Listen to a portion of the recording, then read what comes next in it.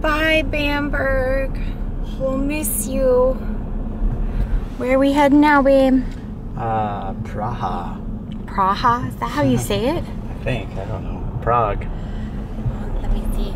We've got Going this lady 25 telling us- kilometers per hour behind this dude. I bet people usually go around him, but Oh no. so Oh, skinny this road. okay. Blast him off his little scooter. Don't do that.